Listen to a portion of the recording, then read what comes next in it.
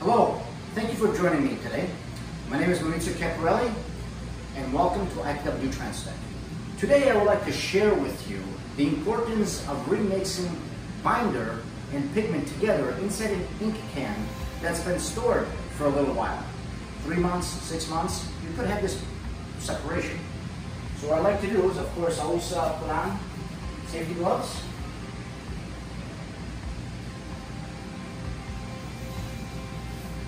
And what we need to do is open up the can, and I will show you the binder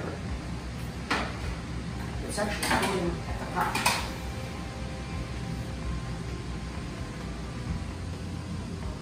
So what we have here is in a liquid form, transparent, that floats to the top. So what we need to do is reintroduce that binder, because the binder is the glue of the ink. So I'm going to rotate the can with a nice long stick and go all the way to the bottom of the can, rotating it, forcing the binder into the pigment again.